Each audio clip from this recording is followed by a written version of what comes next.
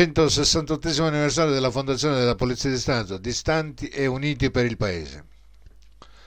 Presso la stele ai caduti della Polizia di Stato posta all'ingresso della questura di Siracusa nel corso di una breve ma sentita cerimonia carica di emozioni alla presenza di pochi poliziotti nel rispetto delle norme di distanziamento sanitario, il prefetto e il questore della provincia di Siracusa hanno deposto stamane una corona di alloro